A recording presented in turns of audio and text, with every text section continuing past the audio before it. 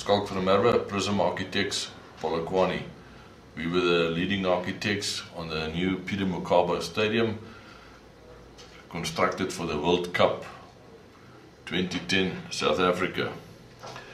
The project had a few unique features which we decided to use, which relates to the origin of our province and the various icons of our province. Given the short space of time in which we had to construct the facility, we were forced to seek alternatives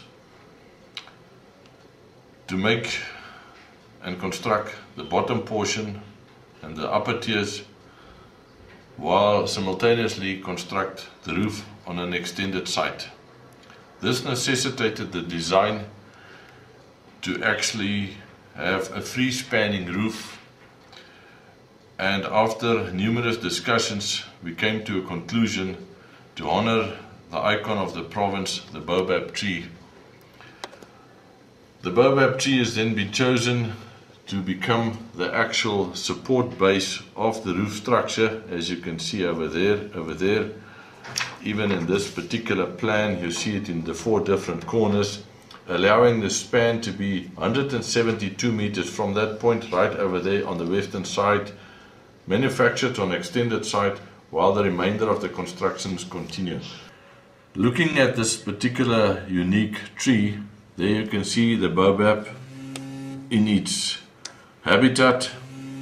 You can see the end product and you can see an illuminated product where this structure which is the main vertical circulation spines around the circular column with the lifts in the center there all carrying spanning 172 meters with a truss which is actually worthy to note 172 meters spanning all across with a main truss 13 meters high up in the air.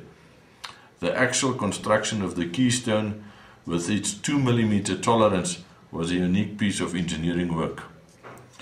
Other unique factors to the stadium is if I can show to you is this function rooms which will be a main contributor for legacy engagement of the stadium and to ensure sustainability. You would note that the main portal neatly frames the main entrance and acknowledges the name of the person, Peter Mokaba. To continue with a local flavor of the structure, we were searching for a director from nature how to deal with the 45,000 seats.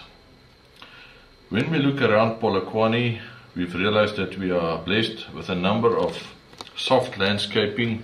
Looking in the distance, we'll see a number of shades of earth colors due to the shadow lines of the mountains, particularly with the western sun going down.